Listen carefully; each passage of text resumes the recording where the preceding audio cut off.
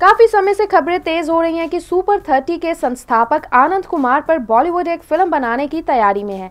कुछ दिनों पहले आनंद कुमार की तस्वीरें भी वायरल हुई थी, जहाँ वह ऋतिक रोशन और अक्षय कुमार के साथ दिख रहे थे। बाद में कंफर्म कर दिया गया कि विकास बहल के निर्देशन में बनने वाले इस फ़िल्म में ऋतिक रोशन फाइनल है। बहरहाल, सूत्रों की माने तो ताज़ा खबर है कि ऋतिक ने इस बायोपिक फ़िल्म को रिजेक्ट कर दिया है। दरअसल, ऋतिक स्क्रिप्ट में कुछ बदलाव चाहते थे, जिसके लिए प्रोड्यूसर्स तैयार नहीं हुए। खैर अब ऋतिक की जगह लेने के लिए अक्षय कुमार को अप्रोच किया जा रहा है। बता दें इस प्रोजेक्ट के लिए सबसे पहले अक्षय से ही बात की गई थी। लेकिन तारीख नहीं होने की वजह से अक्षय ने फ़िल्म को हाँ नहीं किया था। लेकिन अब फिर फ़िल्म घूम फिर कर अक्षय के पास ही चली गई है। यदि अक्षय कुमार फ़िल्म को हाँ कर देते हैं तो ये दो हज़ार अठारह की शुरुआत में फ्लोर पर चली जाएगी।